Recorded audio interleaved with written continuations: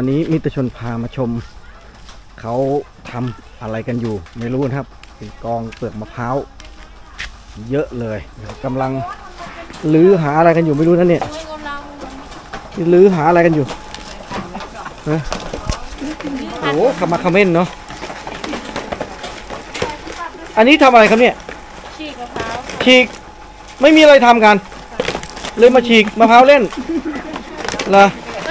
ครับก็สวัสดีครับแฟนๆช่องมิสเตอร์ชลครับวันนี้มิสเตอร์ชลพาไปชม ในเรื่องของวัสดุปลูกที่เป็นที่นิยมนะครับ ก็คือเปลือกมะพร้าวนะครับ เวลาที่เรานำมาปลูกกล้วยไม้เนี่ยเออบทบาทหลักเลยครับ ในสวนกล้วยไม้นี่ครับจะขาดเจ้าเปลือกมะพร้าวนี่ไม่ได้ครับ แต่ว่าเวลาที่เขาใช้กันเยอะๆเนี่ยเปลือกมะพร้าวที่ได้มานำเอามาปลูกเลี้ยงเนี่ย ต้องมีสเปคพอสมควรนะครับเปลือกมะพร้าวในภาคใต้นะครับโดยมากมักจะนำมาปลูกกล้วยไม้ไม่ได้ เพราะว่า ทางสวนเนี่ยครับเขาบอกว่าถ้านำมาปลูกเลี้ยงเนี่ย มันเป็นมะพร้าวที่อยู่ริมทะเลนะครับแล้วก็มักจะดูดเอาความเค็มนะครับต้นมะพร้าวเนี่ย พอดูดเอาความเค็มขึ้นมาเนี่ย พอเอาเปลือกมาปลูกเลี้ยงเนี่ยเขาบอกว่า การเจริญเติบโตเนี่ยมันสู้เปลือกมะพร้าวในภาคกลางไม่ได้ อันนี้ก็เป็นข้อมูลเชิงลึกนะครับก็มาเล่าสู่กันฟังเฉยๆนะครับ แต่วันนี้ครับจริงมิตรชนอยากให้ไปดูคือ กระบวนการผลิตนะฮะเปลือกมะพร้าวที่น่าอัศจรรย์ใจครับ เพราะว่าเขามีวิธีการผลิตที่ เป็นมืออาชีพจริง ๆนะครับ เพราะว่าถ้าทำกันเป็นสวนใหญ่แบบนี้นะโอ้โห ต้องใช้เปลือกมะพร้าวแบบในปริมาณที่มหาศาลจริง ๆครับ แล้วเวลาที่ปลูกที่เลี้ยงกันนี่ครับ มันก็เหมาะจริง ๆ กับการปลูกต้นไม้นะบ้านเราเนี่ยก็เป็นแหล่งที่ว่า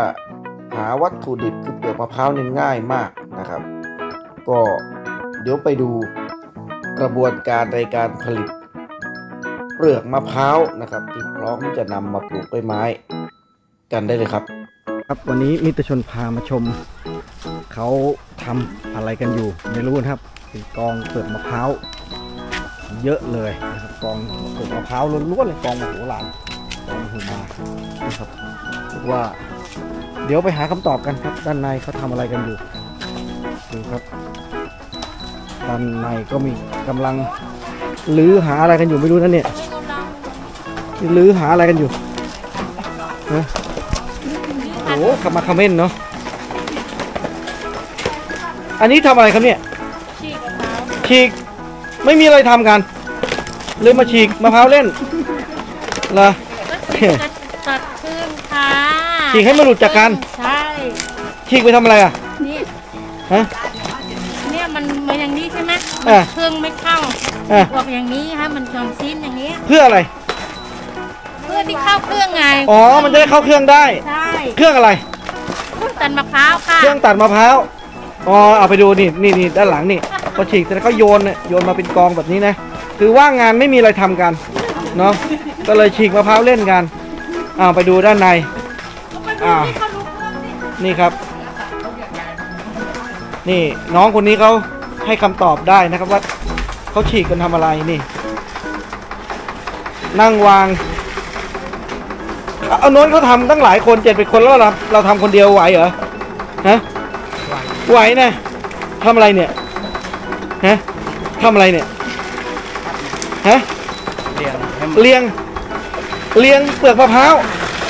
เข้าแบบบนโต้อย่างเงี้ยนะเป็นสายพาน มันทำอะไรมันทำหนีบ บดให้มันนิ่มมีมีดตัดอยู่อ๋อพอหนีบให้นิ่มเสร็จเรียบร้อย เอาเดี๋ยวไปดูด้านท้ายกัน นี่ครับ มาดูเลย ออกมาด้านท้ายนะ มันจะเป็นใบมีดตัด ออกมาเป็นชิ้นๆวันละกี่ชิ้นเนี่ย รู้ไหมพี่ ไม่ ไม่รู้นะ ได้เป็นเข่งๆเลยนะ เอาไปทำอะไรปลูกกล้วยไม้ นิ่มหืมนิ่มเหรอเดี๋ยวไปดูกันครับนี่ เป็นวัสดุปลูกกล้วยไม้เนาะนี่มาเป็นชิ้นๆแบบนี้นิ่มๆ เครื่องมันจะบีบออกมา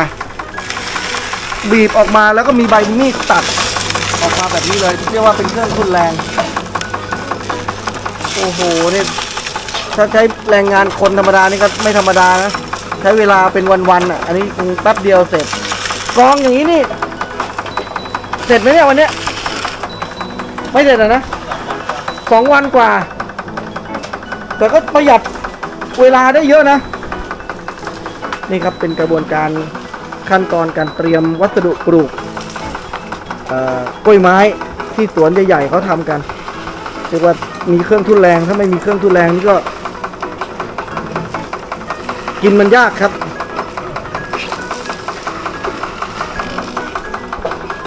ก็นำมาสู่สายตาแฟนๆนะครับ ช่องมิสเตอร์ชล อันนี้ก็อีกเครื่องหนึ่งก็จะมีคนคอยป้อนเปลือกมะพร้าวใส่เครื่องคนหนึ่งนะก็คนท้ายเครื่องนี้ก็คนเอาไปใส่กระสอบ เตรียมจะไปปลูกอีกคนหนึ่ง อันนี้ชิ้นเล็กชิ้นใหญ่นี่เราเราเราบอกได้ฮะเครื่องมันมีไหมนี่ชิ้นใหญ่อ๋ออันนี้ชิ้นใหญ่ใช่อ๋ออันนั้นคือชิ้นเล็ก พอเรามาเครื่องดับเลยเฮ้อ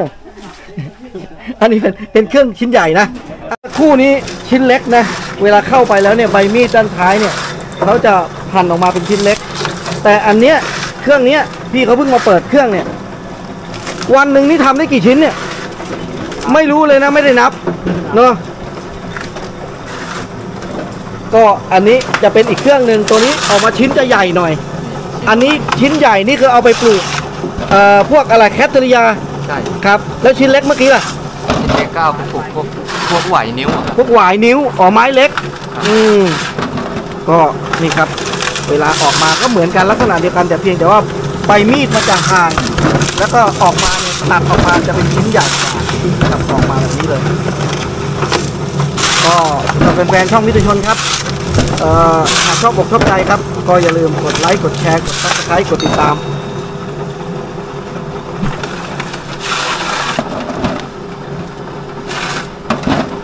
ขอสองนิ้วเลยพี่ อ่า นะ ก็ถือว่านำเอาเรื่องราวดีๆนะครับ มาเล่าสู่กันฟัง กว่าจะมาเป็นกล้วยไม้สวยๆนะครับ มันผ่านกระบวนการส่วนที่เกี่ยวข้องเยอะแยะมากมาย ราคาของกล้วยไม้มันถึงได้ บางครั้งเนี่ยเราอาจจะรู้สึกว่าแพงนะครับ แต่ถ้าเราดูสิ่งเหล่านี้แล้วเนี่ย จะรู้สึกว่าแหม